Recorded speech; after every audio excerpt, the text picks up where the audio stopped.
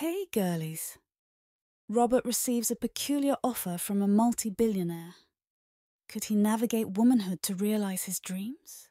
Enjoy. Robert sat down at the bar overlooking the beautiful beach. He gestured at the bartender to bring him a cold can of beer. The sun was melting into a gorgeous orange yellow colour as it set further. The repetitive bass line coming from the beach party down below was almost annoying him, but he was too distracted by the women dancing in their bikinis. This was the life he had wanted to live.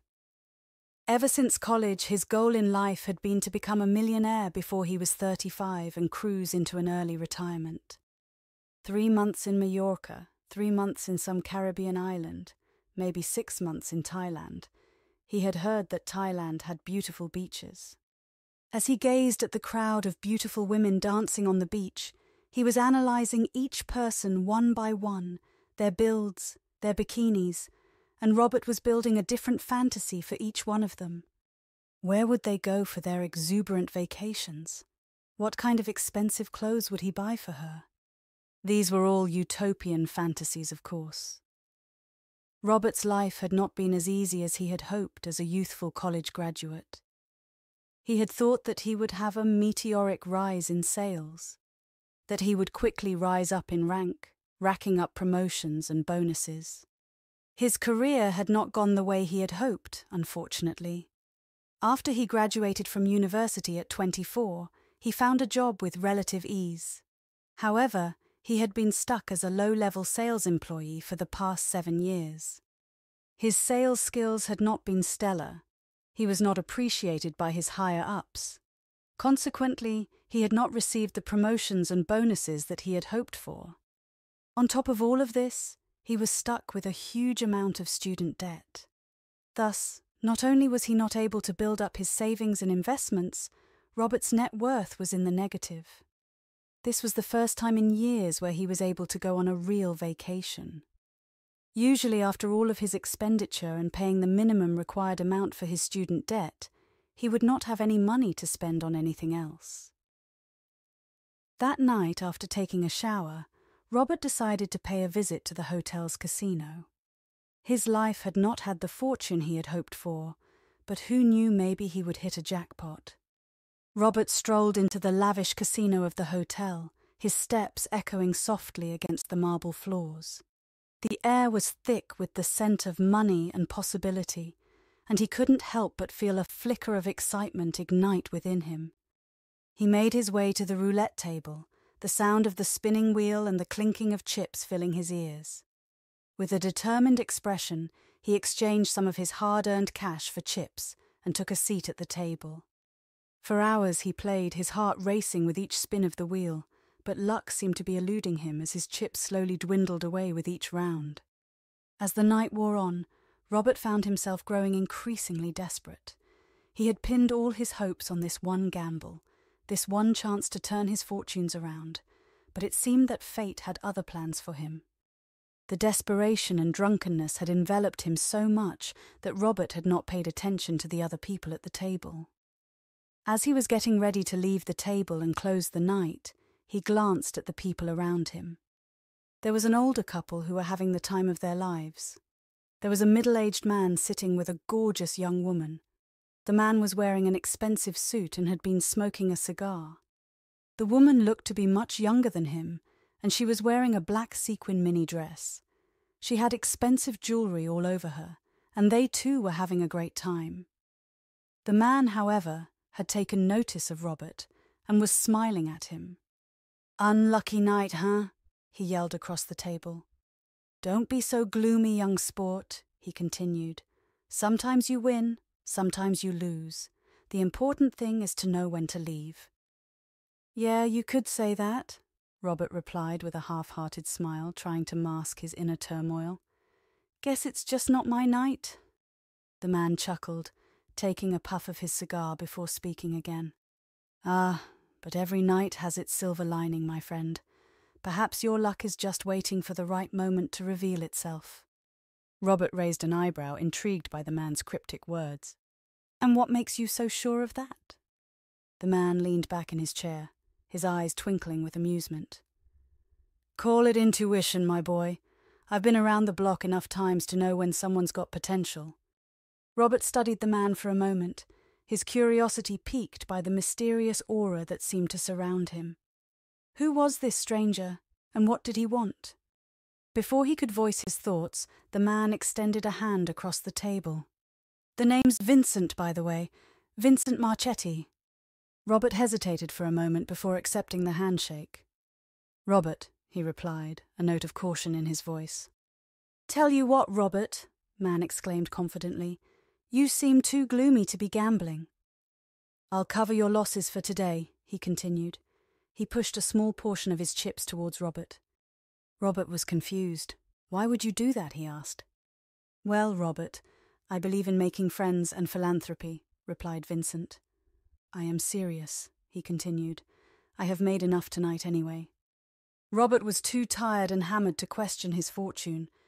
He thanked the man kindly, shook his hand, and headed to his room. When he woke up the next morning with a headache, he noticed a note that was slid under the door. The note had a room number and was written on an expensive handkerchief with a monogram that spelt the initials of Vincent Marchetti. This had made Robert curious as the note did not have any explanation or time written on it. Given that a room number was provided, Mr. Marchetti definitely wanted to see him again. It was the least he could do after the favour he was granted yesterday night. However, before he left his room, Robert decided that it would be best to do some research about this gentleman that had invited Robert to his room.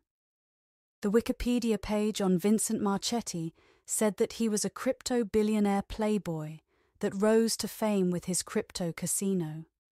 He was worth an alleged $10 billion.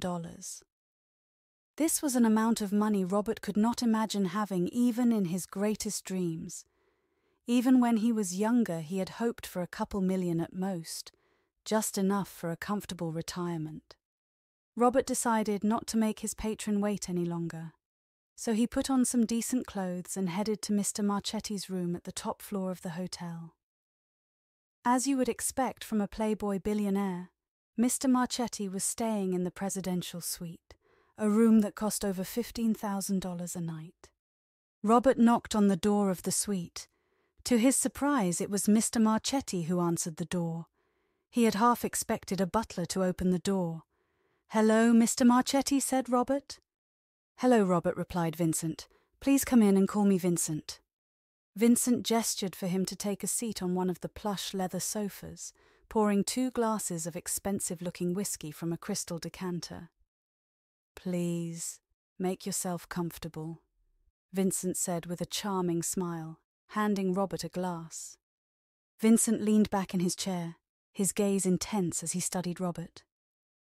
I'll get straight to the point, Robert, it seems to me that you have some unfulfilled dreams, goals that you never achieved. Your time to find the success you're looking for is ticking, my friend. Robert did not know what to say. It was all true, of course. This man had read him like a book. He did not have to say anything. It seems like Vincent already knew what was inside Robert. Robert's silence had already told Vincent the truth. I am going to cut straight to the chase, continued Vincent. I have an offer for you. A strange offer, but a once in a lifetime shot at achieving everything you have dreamed of and more. Vincent was pointing to a folder on the table with his eyes. Robert picked up the folder and started reading through the conditions. To anybody else, this would have been a preposterous deal. Vincent was asking Robert to change genders and become his trophy wife. Robert would have been ready to run out of that room had he not read Vincent's side of the deal. In exchange for Robert becoming a woman, he would be paid a million dollars for every month they lived together, and he would be paid 250,000 monthly for the rest of his life if they break up. Reading the deal again and again, Robert could only muster a single question. Is this for real? Yes, my friend replied Vincent. All of the transition costs are covered, of course, and I have the greatest medical team that specializes in gender transitions. Have no doubt that they can and will turn you into a drop dead, gorgeous woman. Given Vincent's reach, Robert could certainly believe that. But he had a final question. Why? he asked. You could date any woman you want with the kind of resources you have access to. Why would you want to date a trans woman? That is a good question, replied Vincent. When you become as successful as me, life becomes your playground. As you just mentioned, there isn't much I can't do. There aren't many people I can't reach if I wanted to. However, I love seeing how far other people are willing to go to realize their dreams. Are you willing to sacrifice your name, your manhood, to realize your dreams? He couldn't deny the allure of the offer. A million dollars a month, a lifetime of financial security, all in exchange for a simple transformation. It was a price that many would consider unthinkable, but to Robert, it seemed like the opportunity of a lifetime. I'll do it, he said finally, his voice steady despite the tremor in his heart. I'll take the leap. Vincent's smile widened, a look of triumph gleaming in his eyes. Excellent choice, my friend. I assure you, you won't regret it.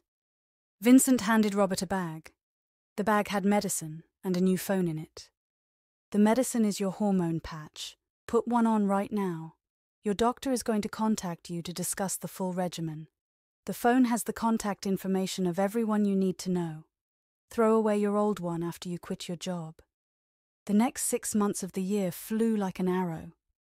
Robert was first moved to a compound. This was not where Vincent resided. Robert was told they would start living together once he was fully transitioned. He had a team of medical doctors constantly monitoring him at the compound. As outlined by the agreement, Vincent was allowed to give a new name to Robert, and the name he had chosen was Brandy. One of Vincent's assistants at the compound, responsible for Brandy's mental transition, had told Brandy that Vincent liked to name his girls after his favourite drinks. It was difficult to get used to, but Vincent's assistants had only been using that name. There was an entire team of women in the house who were dedicated to making him feel like a woman. And after the first couple of weeks, it became harder and harder to convince himself that he was a man. The concentrated hormones he was being given had made him grow breasts. His chest was constantly sensitive, and scratching against the clothes made him hyper aware of them at every step he took. He was given laser hair removal for every part of his body, he was smooth like a baby and did not have to shave. He was also not allowed to wear any masculine clothes. He was only allowed to wear dresses, skirts, bras, panties. The team had been giving him classes on feminine etiquette, cooking, cleaning, and bedside manners. After the second month, in his own mind, he was not Robert anymore. She was Brandy. Whatever psychological techniques the team were using were extremely effective. By the end of the fourth month, Brandy's doctors told her she was ready for surgery. As outlined in the agreement, Vincent did not want a shred of masculinity left in Brandy's body. Brandy could not remember the week of the surgeries too well because she was under constant anesthesia. It took her until the end of fifth month to recover. She was given bottom surgery, breast augmentation, facial feminization, fillers on every part of her body and voice feminization surgery within two weeks. It was no surprise that it took her a while to recover, but the results were unquestionable. No one could have guessed that Brandy had ever lived a day as a man. Her perfect puffy lips, curvy feminine figure, her perky bust. She looked at herself in the mirror and appreciated her form with her hands and with her eyes. Her wardrobe fitted her perfectly now. She filled every bra, her panties and bikini bottoms had no bulges. Her voice was high and smooth like her skin. It was almost like her voice was changed to match her new personality. Over her training, she was taught to be bubbly and cheery. Every dress that was chosen for her looked gorgeous on her. Over the months she was given training, she had grown to love the ritual of femininity. She loved waking up and putting on makeup. She loved styling her outfits and posing for the progress photos that was taken for Vincent. At the end of the sixth month, she was told she was ready for Vincent. She was so excited. This was what she was waiting for. Brandy was finally ready to meet the man that had paid for all of this. As she walked towards the red coupe that awaited her at the front gates, The clicks of her high heels and her heartbeat seemed to synchronize. Her heart was pounding. She could not wait to meet Vincent again. She was so happy that it was Vincent who came to pick her up, and not someone else. She could see that Vincent was appreciating her as she walked towards the car. She felt seen and appreciated like a work of art. When she sat in the car, Vincent said, You look beautiful, my dear love, and gave Brandy a passionate kiss. He then handed her a plane ticket and said, I thought you deserved a honeymoon after going through that metamorphosis. Brandy looked at the plane ticket and realized that it was to the same place they had met six months ago. Brandy felt so happy, and a warm smile started growing on her face. As the red sports car accelerated, she could feel the forces of the car on her chest. She then thought about how her beautiful red mini dress matched the color of the car. Vincent was truly living the life. He had the red sports car and the gorgeous woman to match the car. They entered the airport through a special entry for private planes. The shallow steps of the stairs leading up to the plane were a challenge, so Vincent held Brandy's hand gracefully and helped her climb the stairs. Once they landed, they headed straight for the hotel. Brandy was staying in one of the smallest rooms last time she was here. This time she would be staying with Vincent in the King's suite. After she unpacked her luggage and helped put both her clothes and Vincent's clothes in the closet. As she was taking them out of their luggages, she appreciated Vincent's style. He was a man that loved a good suit, and the suits loved him too. They accentuated his masculine build. Brandy realized that for the first time she felt attracted to a man. She caught herself daydreaming about Vincent's chiseled jawline. She loved his beard and his veiny arms. She felt like a beautiful flower standing next to him. Vincent was appreciating Brandy's graceful movements and her perfect body as she put everything in the closet. Once she was done, he asked, would you like to head to the beach party, my dear? Yes, replied Brandy in a high pitched feminine voice. She still could not believe how naturally feminine she had become. She decided to wear a beautiful white micro bikini, as she knew Vincent wanted to parade her around just as much as he wanted to appreciate her. Once at the beach, Brandy headed for the bar and asked for a cosmopolitan. It was the same bartender from all those months ago. Brandy searched his eyes to see if he would recognize her. The man didn't seem to recognize her. Once she got her cocktail, she headed for the party. Vincent was at the bar appreciating her graceful, feminine movements, her curvy figure. Just six months ago, she was in his place, appreciating the beautiful girls on the same beach. She could feel not only Vincent's eyes, but also every other man's eyes on her. Vincent had kept his promise. She was the most beautiful girl on that beach. Brandy was so in tune with her feminine self that the dreams of her yester self did not even concern her. She just wanted to dance and be looked at. Thanks for watching the video. Don't forget to follow us on other social media. Enjoy your girly day.